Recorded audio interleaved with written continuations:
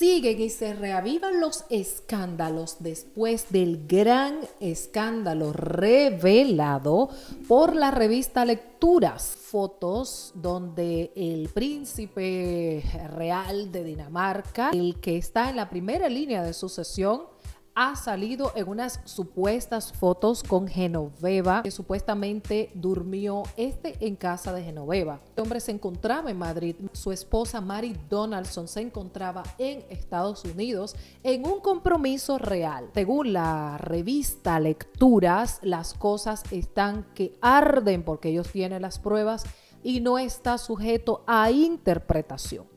Genoveva emitió un comunicado diciendo y pidiéndole al director y a la revista Lecturas que se retracten de decir que ella tiene una relación sentimental con el príncipe de Dinamarca, Federico, porque ella no lo tiene y esto se ha picado y se ha extendido desde hace un día y medio al momento en que estoy grabando este vídeo. Hace mucho tiempo que no se veían estos escándalos de los Royals que ha dejado a más de uno con problemas serios de entre amoríos y cosas en diferentes casas reales.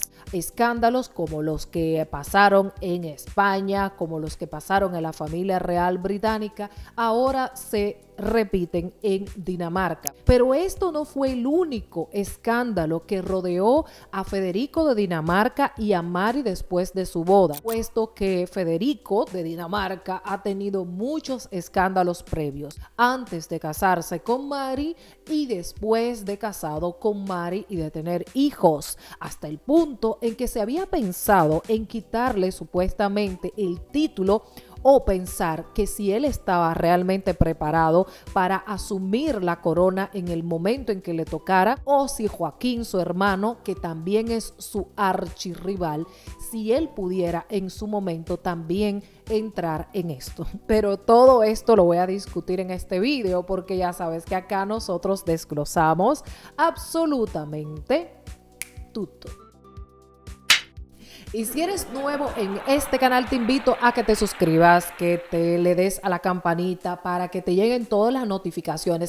Aquí hablamos no solamente de las familias reales, sino del mundo del espectáculo y lo hacemos de una forma muy particular. Dentro de ellas, en broma y en serio cuando se requiera. Así es que te pido que te suscribas. Y también en este vídeo están los productos etiquetados de mi tienda física y también de mi tienda digital para que lo que te interese puedas ir, descargarlo o comprarlo. Bueno, esto se ha picado y se ha extendido después de la exclusiva de lecturas, la revista que dio a conocer esto, esto se ha publicado en todas partes del mundo, en el mundo británico, estadounidense, Latinoamérica, en todas partes, pero España ha sido como la cuna de esta revelación que se dio. De hecho, cuentan que la reina Leticia mandó a una persona que supuestamente buscara la tener acceso previo a la publicación de la exclusiva de esta revista para ver qué fue lo que pasó y cuáles eran las fotos. Pero la reina Leticia tuvo que,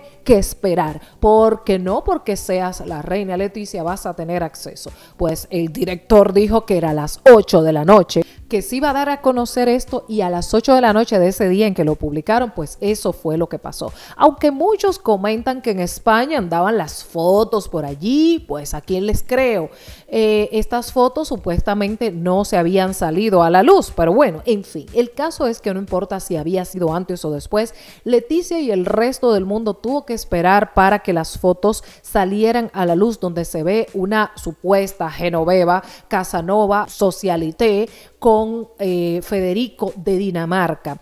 Muchos nos hemos preguntado que si realmente ellos quisieran haberse ocultado con esto, lo hubiesen hecho desde el principio. Pero ahora otro detalle ha salido a la luz y se comenta, no se ha confirmado que supuestamente esto fue publicado por la misma Genoveva, como que ella hizo la misma llamada para que esto saliera a la luz. Esto es una acusación bastante seria y bastante grave que nadie debería de decir esto sin que haya realmente pruebas que ella fue la persona que llamó, porque eh, supuestamente comentan que ella se saldría beneficiada de todo lo que está ocurriendo ya que es una persona que vive de la socialité y que ella no tendría nada que perder, pero quien tendría que perder sería el príncipe Federico. Esto tendría un poco de lógica, pero tal vez tú estarías contribuyendo porque las mujeres en este tipo de situaciones la tenemos todas las de perder.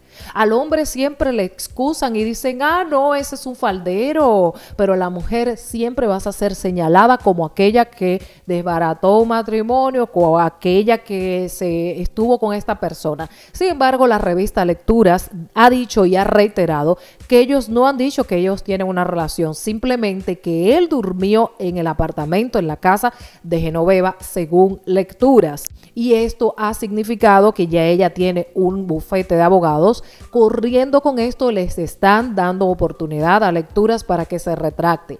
Ellos no piensan retractarse de esta información porque según dice el director, estas fotos hablan por sí mismas y simplemente ellos están diciendo que él durmió. Los amigos de Genoveva y Genoveva han dicho que no que, ella, que él no durmió en su casa. Entonces, el vehículo que se quedó fuera, bueno, pues puede ser que él se haya quedado a dormir en la casa de al lado, o se haya quedado a dormir en una casa de huésped, o se haya quedado a dormir en otro lugar. Lo cierto es que esto ha despertado todas las cosas que habían pasado antes. Uno de los escándalos más grandes salió en una portada hace muchos años, una portada donde Joaquín, el hermano de Federico, salió casi dándole un beso en la boca a Mari, la mujer de Federico, la princesa Mari de Dinamarca, cuando él estaba actualmente en ese momento se acababa de casar con Marie que es la esposa de él, de Joaquín.